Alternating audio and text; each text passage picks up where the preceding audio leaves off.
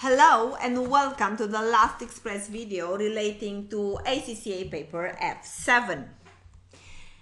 We will actually be discussing the statement of cash flows, which is the um, primary statement of financial position, which will actually reflect only the cash generating capability of the company. The um, cash flows will be presented um, based on three categories operating, financing, and investing activities.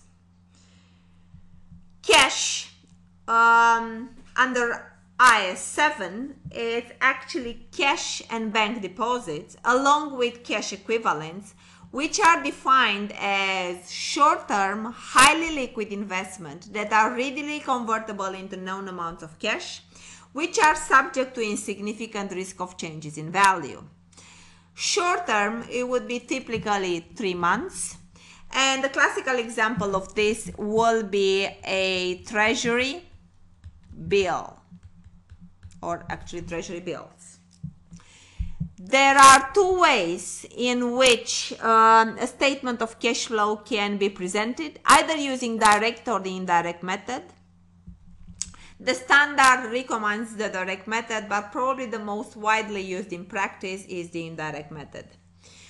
Um, this one is more frequent and more examinable one, and all you need to know, the indirect one, is the pro forma.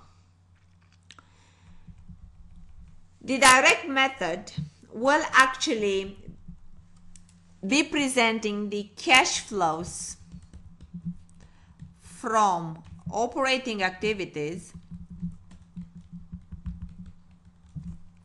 as cash coming in from the customers, cash received from customers, cash paid to suppliers and employees, other cash payments, that is our, our operating cash flows.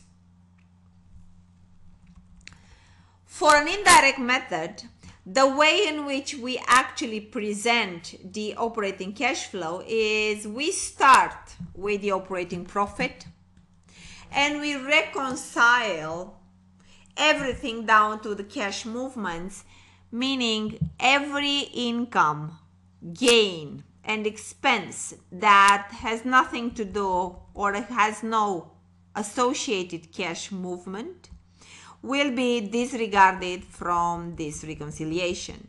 So, classical examples would be we start with profit before tax and we add back the finance cost and finance income because most likely this one will be charged into the income statement based on accrual basis. And we are left with the profit before interest and tax. In arriving at this profit, we actually have booked in the account some transactions which are non-cash. Classical examples would include depreciation, amortization of intangibles, any impairment losses, any gains and losses on disposal of non-current assets or revaluation of investment property.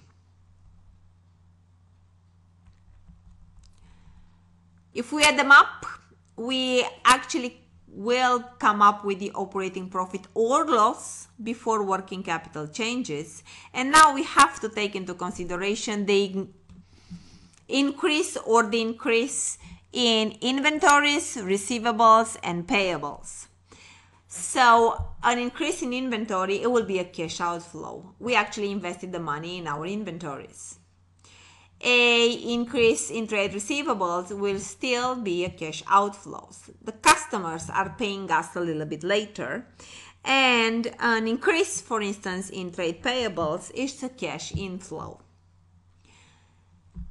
Then add them up, everything together, we come up with cash generated from operations. We will have to show the actual interest and tax paid, and that would be net operating cash flows. This figure, whether presented in the indirect method or presented using the direct method, should be one and the same. The rest of the cash flows derived either from investing or financing activities will be reflected in the same way under direct or indirect method. Payments to acquire non-current assets will be reflected in investing cash flows. Proceeds from sales of non-current assets will also be reflected in cash flows. Financing cash flows will include money coming in from the issue of shares, and look for in the exam a share premium account because in most of the exam scenarios the shares are issued at more than the nominal value dividend which is actually paid to our shareholders and that can be shown as an operating activity also. New loans which were raised during the accounting periods or repayment or of the loans and some government grants either received or paid. Net cash flows from financing activity and if we add them up all three together we will come up with the net increase or decrease in the cash and cash equivalents during the accounting period and that one can be easily reconciled with the cash and cash equivalents at the beginning of the period and the cash and cash equivalents at the end of the period.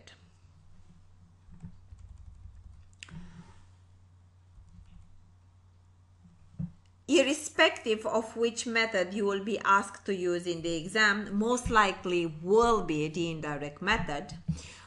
How you will be tested, it will be you will be presented with an income statement. You will have a statement of financial position for two consecutive years. All you have to do is to remember the pro forma and plug in the figures which appear in this reconciliation.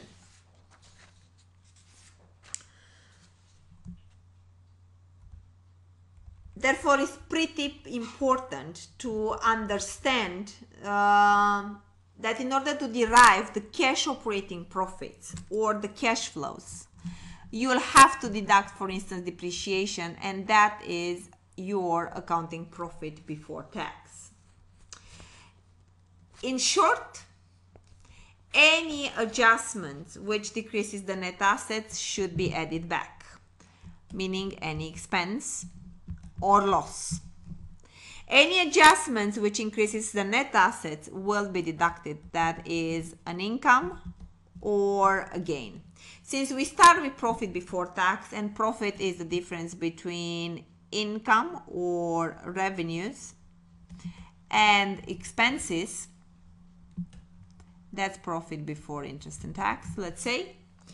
Any adjustments for expenses or incomes which are not cash, it will be a decrease or an addition to the profit, an increase in net assets or deduction for profit before tax. The approach in the exam, read the full question. It will be a lengthier one, but you'll be lucky to actually see this in the exam. The global pass rates actually go up when a cash flow question appears in the exam read it in full. There will be an income statement, statement of financial position, as I said, for two years, and then some information with respect to, I don't know, depreciation, acquisition, disposal of non-current assets. Then produce the pro forma and plug in the easy figures like profit before tax, opening and closing balance at the for cash and cash equivalents at the bottom because they will earn you the easy marks as I call it in the exam. The workout through the reconciliation section in the statement and once we actually finish off the reconciliation of profit before tax down to operating profit, then we'll move to the statement of financial position and we'll look for uh, the movements in working capital like inventory, trade receivables, trade payables, we will try to derive the cash flows from investing and financing activities by looking at the opening and closing balances for items like share capital and share premium, current and non-current liabilities, property, plant and equipment.